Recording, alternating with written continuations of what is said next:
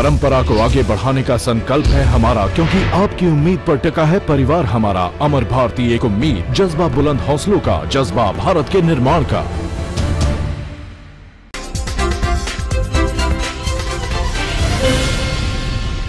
Railway क्रांतिकारी कदम उठाने का प्लान कर रहा है। इसके तहत देश भर के 200 बड़े रेलवे स्टेशनों पर सैनिटरी पैड की वेंडिंग मशीन लगाई जाएगी।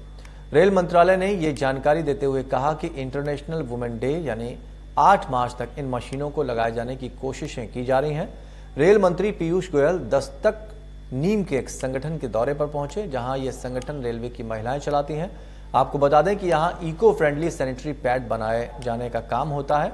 गोयल इसके लिए दिल्ली स्थित सरोजनी नगर यूनिट के दौरे पर गए थे। वहाँ गोयल ने कहा कि ऐसे प्रोजेक्ट्स को तेज़ी से फैलाया जाना चाहिए और राष्ट्रीय ट्रांसपोर्ट को इसमें अहम भूमिका निभानी चाहिए।